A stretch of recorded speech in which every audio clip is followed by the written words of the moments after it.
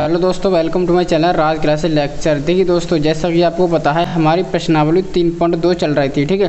जिसमें हमने बहुत सारे क्वेश्चन को सॉल्व कर लिए हैं, ठीक हमने ना क्वेश्चन एक से लेकर छः तक को सॉल्व कर दिया है, ठीक है? और आज की वीडियो में ना हम इसका क्वेश्चन नंबर सेवन करेंगे, इसका लास्ट क्वेश्चन करेंगे, ठीक जो ये प्रश्नावली है थ्री इसका ना लास्ट क्वेश्चन रह गया है, ठीक है? और उस क्वेश्चन को हम आज सॉल्व करेंगे और उसी के साथ हम इस प्रश्नावली यानी थ्री पॉइंट दो को समाप्त करने वाले हैं, ठीक है?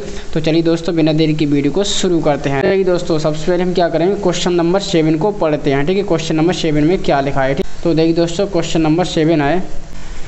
देखो दोस्तों, ये है क्वेश्चन नंबर सेवन ठीक है? क्वेश्चन नंबर सेवन को हम पढ़ेंगे। तो देखिए दोस्तों क्वेश्चन नंबर सात है। समीकरणों x minus y plus one बराबर ज़ीरो और three x plus two y minus बारह बराबर ज़ीरो का ग्राफ खींचिए। एक्स अक्ष और इन रेखाओं से बने त्रिभुज के शीर्षों के निर्देशांक ज्ञात कीजिए और त्रिभुजाकार पटल को छायांकित कीजिए, ठीक है? तो देखिए दोस्तों बेसिकली हमें क्वेश्चन में क्या दिया है, ठीक है? हमें देखिए दोस्तों ना, दो समीकरण दिए हुए हैं, ठीक है? और हमें क्या करना है, इसका ग्राफ बनाना है, ठीक है? ग्राफ बनाने के बाद फिर हमें क्या करना है एक्स अक्ष पर, ठीक है? ये तो लाइन के ज़रिए, ठीक है एक्स अक्ष पर एक त्रिभुज बनेगा, ठीक है एक्स अक्ष पर त्रिभुज बनेगा, और हमें क्या करना है? त्रिभुज के शीर्ष के निर्देशांक ज्ञात करने हैं, ठीक है दोस्तों, और इतना काम हमें करना, और फिर हमें क्या करना और देखिए दोस्तों, इसमें लिखा है, हमें जो त्रिभुज बनेगा, हमें ना छायांकित करना यानी कि हमें इसको ना सैड करना है, ठीक हमें त्रिभुज को दिखाना है कि हमारा ये त्रिभुज बना तो चलिए दोस्तों, हम इस क्वेश्चन को बड़ी आसानी से सॉल्व कर देंगे और क्या करेंगे? चलिए दोस्तों, अब क्वेश्चन को सॉल्व करते हैं, ठीक है? हमें क्या दिया है? हमें ना दो समीकरण दिए हुए हैं, ठीक है? तो हम क्या करेंगे? सबसे पहले हम समीकरण दो को नोट कर लेंगे और चलो सॉल्व करते हैं, ठीक है दोस्तों? देखो दोस्तों, हमने ना क्वेश्चन सात को नोट कर लिया ठीक है? सो क्वेश्चन सात में है। क्वेश्चन सात में दो समीकरण थे, उनको हमने नोट कर लिया है, ठीक है? अब हम क्या करेंगे? इसको सॉल्व करने के लिए हम इसको ना एक्स और वाई के लिए सॉल्व करेंगे। एक्स और वाई के लिए दो दो मान निकाल लेंगे, फिर हम क्या करेंगे? फिर हम उसको ना ग्राफ पर प्लेस करेंगे, ठीक है? तो हम क्या करेंगे? सबसे पहले हम समीकरण वन के लिए एक्स और वाई के दो दो मान निकाल लेंगे, ठीक है? तो देखिए दोस्तों एक्स और वाई के मान निकालने के लिए हम क्या करते हैं? हम इस तरह से एक डब्बा बना लेंगे और हम क्या करेंगे? इसको ना इस तरह से डब्बा बनाने के बाद यहाँ पर लिखेंगे x और यहाँ पर लिखेंगे y, ठीक है? अब हम क्या करेंगे? x और y के मान निकालेंगे, ठीक है? ये समीकरण वन के लिए निकालेंगे। तो हम क्या करेंगे? इसको हम ना y को एक तरफ़ ले जाएँगे और बाकी सभी पद को दूसरी तरफ़ रहने देंगे, ठीक है? तो हम क्या करेंगे? अगर हम y को इस तरफ़ लेके जाएँगे तो y माइनस का प्लस का हो जाएगा, ठीक है? तो यहाँ पर देखिए दोस्तों, y बराबर हो जाएगा एक्स प्लस वन यहाँ पर एक्स और प्लस वन बचेगा, ठीक है? तो एक्स प्लस वन अब देखिए दोस्तों क्या करेंगे? अब यहाँ पर हम अगर एक्स की वैल्यू ज़ीरो डाल देते हैं, ठीक है? अगर हम इस समीकरण में एक्स की वैल्यू ज़ीरो डालेंगे तो हमें वाई की वैल्यू कितनी मिलेगी? तो हमें वाई की वैल्यू वन मिल जाएगी, ठीक है? यहाँ पर ज़ीरो ये वाला पद ज़ीरो हो गया और यहाँ पर वाई की वैल्यू वन ठीक है? तो एक्स की वैल्यू ज़ीरो वाई की वैल्यू वन मिल जाएगी। अब देखिए दोस्तों, अब हम क्या करेंगे? अगर हम x की वैल्यू माइनस वन ले लें, ठीक है? अगर हम x की वैल्यू माइनस वन ले लें तो यहाँ पर देखिए दोस्तों माइनस वन और ये प्लस का वन यहाँ पर माइनस का वन प्लस का वन यहाँ पर ज़ीरो बचेगा, ठीक है? ज़ीरो बच जाएगा तो यहाँ पर देखिए दोस्तों वाई की वैल्यू ज़ीरो मिल गई, ठीक है?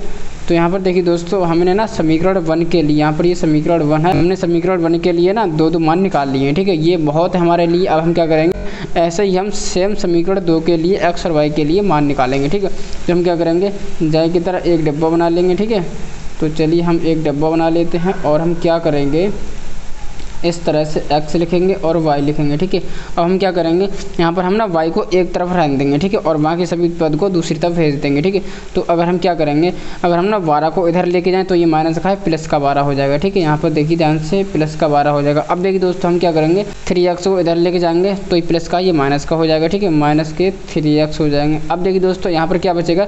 यहाँ पर दो वाई बचेंगे, ठीक है? तो हम क्या करेंगे? दो को इधर लेके जाएँगे तो ये दो देखिए दोस्तों वाई के पास में ना मल्टीप्लाई में है। जब हम दो को बराबर बराबर से इस तरफ़ लेके जाएँगे तो ये दो डिवाइड करेगा, ठीक है? यहाँ पर दो डिवाइड में आ जाएगा, और यहाँ पर केवल बचेगा वाई ठीक है? तो इस तरह से हमने ना वाई को एक तरफ़ रख लिया है, और बाकी सभी पद को दूसरी तरफ़ फेंक दिया है, ठीक है? अब क्या करने वाले हैं? अब देखिए दोस्तों अगर हम ना x की वैल्यू दो डाल दें, ठीक है? x की वैल्यू अगर हम दो डाल देते हैं तो यहाँ पर देखिए दोस्तों, x की वैल्यू दो तो दो, तीन छः और देखिए दोस्तों, बारह में से छः जाएँगे तो छः बचेगा, ठीक है? और डिवाइड में कितना है? डिवाइड में है दो। अगर हम छः को दो से डिवाइड करेंगे तो तीन आएगा, ठीक है? तो यहाँ पर देखिए दोस्तों वाई की वैल्यू तीन। अगर हम इस समीकरण में, दूसरी वाली समीकरण में, ठीक है? अगर हम एक्स की वैल्यू दो डाल देते हैं तो हमें वाई की वैल्यू तीन मिल जाती है, ठीक है? ऐसे हम क्या करेंगे? दोस्तों, एक बार हम अगर एक्स की वैल्यू चार डाल देते हैं, ठीक है? एक्स की वैल्यू चार डाल डालेंगे तो चार तीय बारह बारह माइनस बारह, यहाँ पर बस जाएगा ज़ीरो, और जब हम ज़ीरो को दो से डिवाइड करेंगे तो ज़ीरो ही आएगा, ठीक है? बाई की वैल्यू ज़ीरो। अगर हम ना एक्स की वैल्यू चार डालते हैं तो हमें वाई की वैल्यू ज़ीरो मिल जाएगी, ठीक है? अब देखिए दोस्तों, हमने ना दोनों समीकरण के लिए एक्स और वाई के दो दो मान निकाल लिए हैं, ठीक है? ये देखिए दोस्तों ना दूसरे वाले समीकरण के लिए हैं, ठीक है? अब क्या करेंगे? अब जल्दी से एक ग्राफ बनाएँगे और इस ग्राफ इस वैल्यू को पुट करेंगे, ठीक है? और वहाँ से हमें एक त्रिभुज मिल जाएगा, ठीक है? और आगे की कार्रवाई हम आगे करते हैं, ठीक है? सबसे पहले हम क्या करते हैं? एक ग्राफ बना लेंगे, ठीक है? तो चलिए बहुत जल्दी से ग्राफ बनाएँगे। देखो दोस्तों, हमने जल्दी से ना एक ग्राफ बना लो ठीक है? अब क्या करेंगे दोस्तों? अब यहाँ पर हम ना एक्स के मान को यहाँ पर प्लेस करेंगे, ठीक है? सबसे पहले हम क्या करेंगे? सबसे पहले हम ना समीकरण वन के मान को हम यहाँ पर प्लेस करेंगे, ठीक है? अब देखिए दोस्तों, यहाँ पर देखिए, हमें एक्स की वैल्यू ज़ीरो बाई की वैल्यू वन ठीक है? यहाँ पर देखिए दोस्तों, हमें लिखा है एक्स की वैल्यू ज़ीरो यानी कि हम यहाँ से लेके एक्स ज़ीरो चले, यानी कि आगे हम बढ़े ही नहीं। एक्स ज़ीरो पर ही रहे, ठीक है? ज़ीरो यहाँ पर ये मूल बिंदु है, यहाँ पर ये ज़ीरो पर रहे, ठीक है? और बाई कितना चले? बाई चले हम वन ठीक है? हम क्या करेंगे? बाई चले वन वन ऊपर के लिए चले बाई चले वन यहाँ पर वन ठीक है? यहाँ पर वन चले तो यहाँ पर हमें एक बिंदु मिलेगा, ठीक है? यहाँ पर जो बिंदु मिलेगा ज़ीरो कोमा वन मिलेगा, ठीक है? ज़ीरो कोमा वन क्योंकि जो पहली वैल्यू होती है, वो होती है एक्स की और दूसरी वैल्यू होती है वाई की, ठीक है? तो एक्स की वैल्यू ज़ीरो और वाई की वैल्यू वन ठीक है? एक बिंदु यहाँ पर मेरे को अब देखिए दोस्तों क्या करेंगे? अब यहाँ पर लिखो है वो एक्स की वैल्यू है माइनस के वन और वाई की वैल्यू ज़ीरो यानी कि अब कि हम वाई के इधर ना गए, ना ऊपर गए, ना नीचे गए, यहाँ पर ज़ीरो पर ही रहे, ठीक है? और एक्स कितना चले? एक्स चले हम माइनस की वन ठीक है? तो यहाँ से चलेंगे माइनस के यहाँ पर माइनस की वन ठीक है? यहाँ से ज़ीरो से लेके माइनस की वन ठीक है? तो यहाँ पर एक बिंदु यहाँ पर मिलेगा तो यहाँ पर देखिए ये वाला बिंदु मिलेगा माइनस वन कोमा ज़ीरो, ठीक है? Minus one comma zero. अब देखिए दोस्तों, एक बिंदु जे, एक बिंदु जे। दो बिंदु मिलेगा, अब हम क्या करेंगे? जे दो बिंदु को मिला देंगे, ठीक है? तो चलिए दोस्तों, बहुत जल्दी से हम मिला देते हैं। तो देखिए दोस्तों, हमने इस लाइन को आसानी से मिला दिया है। अब हम क्या करेंगे? इस लाइन का समीकरण भी लिख देंगे, ठीक है? ताकि हमें पता चलता रहे कि ये लाइन कौन से वाले समीकरण की है, ठीक है? तो ये लाइन पहले वाली समीकरण की है, इसलिए हम क्या करेंगे? पहले वाली समीकरण को लिख देंगे, ठीक है? जो हमारी ये वाली लाइन है ना, पहले वाली समीकरण की है, ठीक है? तो हमारा पहले वाला समीकरण है x minus y plus one बराबर ज़ीरो, ठीक है? X minus y plus one equal to zero ठीक है हमें पता चल गया ये वाली लाइन इस वाले समीकरण की है ठीक है इतना काम करना है अब देखिए दोस्त हमें क्या करना है अब देखिए दोस्त यहाँ पर है दूसरे वाले समीकरण के मान को हमें यहाँ पर ग्राफर दर्शाना है ठीक है तो यहाँ पर देखिए दोस्तों एक्स की वैल्यू दो बाई की वैल्यू तीन ठीक है तो हम क्या करेंगे यहाँ से चले एक्स की वैल्यू दो चले ठीक है ज़ीरो एक दो ठीक है यहाँ पर दो चले ठीक है अब देखिए दोस्तों वाई की वैल्यू कितनी है वाई की वैल्यू है तीन ठीक है तो हम ऊपर चले तीन ठीक है ज़ीरो एक दो तीन ठीक है अब क्या करेंगे दोस्तों ये तीन वाले बिंदु को इस तरह से आगे बढ़ाएँगे ठीक है? यहाँ से हमें एक बिंदु मिलेगा देखिए दोस्तों इस तरह से हम आगे बढ़ाएँगे और हम क्या करेंगे? एक्स की एक्स की वैल्यू कितनी है? दो ठीक है? तो हम क्या करेंगे? यहाँ से दो इस वाले बिंदु को भी आगे बढ़ाएँगे ठीक है? तो हम क्या करेंगे? इस तरह से इस, इस तरह से हम सेट स्क्वायर से मिलाएँगे ठीक है? अगर हम इस तरह से मिलाएँगे तो हमारी लाइन बिल्कुल सीधी जाएगी ठीक है? तो इस तरह से हम इस लाइन को आगे बढ़ा देंगे ठीक है? जब हम इसको आगे बढ़ाते जाएँगे ना तो यहाँ पर एक ये बिंदु कट करेगा ठीक है दोस्तों? यहाँ पर एक बिंदु कट करेगा। अब हम क्या करेंगे? ये वाला बिंदु होगा दो कोमा तीन होगा, ठीक है? तो हम क्या करेंगे? यहाँ पर लिख देंगे दो कोमा तीन, ठीक है? ये वाला बिंदु है दो कोमा तीन। अब देखिए दोस्तों, हम क्या करेंगे? यहाँ पर देखिए दोस्तों एक्स की वैल्यू है चार, ठीक है? एक्स की वैल्यू चार और वाई की वैल्यू ज़ीरो ठीक है? तो यहाँ पर देखिए दोस्तों एक्स की तरफ़ चले चार, ठीक है? यहाँ से देखिए दोस्तों, ज़ीरो, एक, दो, तीन, चार, ठीक है? एक्स की तरफ़ चले चार और वाई की तरफ़ चले ज़ीरो। यहाँ पर लिखा है ज़ीरो, ठीक है? यानी कि हम ऊपर बिल्कुल बढ़े ही नहीं, हम ज़ीरो पर ही रहे। ज़ीरो पर ही खड़े रहे तो हम क्या करेंगे? यहाँ पर जो बिंदु हमें मिलेगा, चार कोमा ज़ीरो, ठीक है? एक बिंदु हमें ये मिल चुका है, अब हम क्या करेंगे? जे वाले बिंदु को जे वाले बिंदु को मिला देंगे, ठीक है? तो चलिए, बहुत जल्दी से मिला देते हैं, ठीक है? मैं आपके इस बार सामने ही मिलाऊँगा। इस तरह से हम सेट स्क्वायर को आसानी से रखेंगे सीध पर और इस बिंदु को आपस में मिला देंगे, ठीक है? अब देखिए दोस्तों, हमने ना दूसरे वाले समीकरण की लाइन को यहाँ पर खींच दिया है, ठीक है? अब हम क्या करेंगे? इस वाले समीकरण को लिख देंगे, ठीक है? जो ये दूसरा समीकरण है three x plus two y minus के बारह बराबर ज़ीरो ठीक है? तो हम क्या करेंगे? इस वाली लाइन का समीकरण लिख देंगे थ्री एक्स ठीक है? थ्री एक्स प्लस के टू वाई माइनस के बारह बराबर ज़ीरो। अब हमने इतना काम कर लिया। अब देखिए दोस्तों, हमें एक ना त्रिभुज मिल चुका है, ठीक है? बेसिकली क्वेश्चन में कहा गया था कि हमें क्या करना है? ये दो समीकरण दिए हैं, इसका हमें ग्राफ खींचना है, ठीक है? तो हमने क्या किया?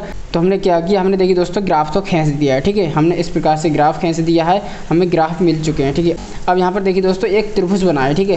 जो यहाँ से देखिए दोस्तों, ये कि त्रिभुज बना है, ये मैं इस पर पेंसिल फिरा रहा हूँ, ठीक है? पेंसिल इस पर फिरा रहा हूँ ये देखिए दोस्तों, ये त्रिभुज मिल चुका है, ठीक है? अब हम क्या करेंगे? इस त्रिभुज के हमें क्या करना है? इसके ना निर्देशांक लिखने हैं। इसमें देखिए दोस्तों, त्रिभुज के तीन कोण हैं, ठीक है? एक, दो, तीन, ठीक है? तीनों त्रिभुज के निर्देशांक लिखने हैं, ठीक है? यहाँ पर देखिए दोस्तों, जो तीनों त्रिभुज के निर्देशांक हैं, एक तो निर्देशांक है दो कोमा तीन, ठीक है?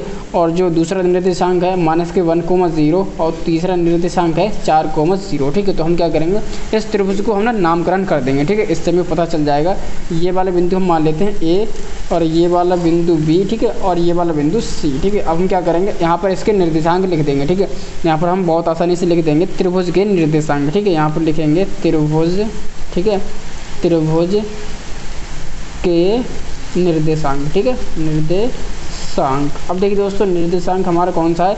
ए का निर्देशांक कौन सा है? यहाँ पर हम लिख देंगे जो ए का निर्देशांक है माइनस के वन कोमा ज़ीरो ठीक है? तो यहाँ पर लिखेंगे माइनस के वन कोमा ज़ीरो जो हमारा वी का निर्देशांक है वी का निर्देशांक कौन सा है? यहाँ पर लिखा है साफ़ साफ़ दो कोमा तीन, ठीक है? तो हम क्या करेंगे?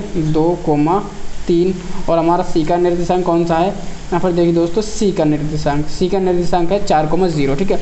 चार कोमा ज़ीरो। इस प्रकार से हमने त्रिभुज के निर्देशांक भी बता दिए हैं, ठीक है? त्रिभुज के निर्देशांक ए बी सी उसके हमने ना निर्देशांक भी बता दिए हैं, ठीक है? अब देखिए दोस्तों, हमें क्या करना है? अब क्वेश्चन में लिखा था कि जो त्रिभुजाकार पटल है ना, उसको हमें छायांकित करना है, यानी कि उसको हमने साइड करना है, ठीक है? तो हम इसको ना किस प्रकार से करेंगे? देखिए दोस्तों, आपके पास ना कोई पेंसिल होगी, आप क्या करना? यहाँ से देखिए दोस्तों, यहाँ से हमें एक त्रिभुज मिला है, ठीक है? तो हम क्या करेंगे? तरह से इसमें हम ना लाइन भर देंगे, ठीक है? इस तरह से लाइन भर देना, इस तरह से अपने इसको छायांकित कर देंगे, ठीक है? फिर ये दूर से पता चलेगा कि हमारा ये वाला त्रिभुज है, ठीक है? इस प्रकार से हम लाइन भर देंगे। आप बहुत अच्छे से लाइन भर देना, इसको सजा देना, ताकि दूर से पता चलता रहे कि हाँ इसमें ये वाला त्रिभुज है, ठीक है? तो आपको बहुत अच्छे से पता चल रहा होगा, वीडियो में दिखाई दे रहा होगा कि हमारा त्रिभुज कौन सा है। देखिए दोस्तों, हमने बहुत अच्छे से इसको ना छायांकित कर दिया है, ठीक है? इसको साइड कर दिया है। अब देखिए दोस्तों, आपको पता चल रहा है ना कि इसमें त्रिभुज कौन सा है? तो देखिए दोस्तों, हमें बेसिकली ये काम करना था। और देखिए दोस्तों, ये ना एक्स अक्ष पर है, ठीक है? यहाँ से देखिए दोस्तों, ये वाला एक्स अक्ष होती है और ये त्रिभुज ना एक्स अक्ष पर है, ठीक है?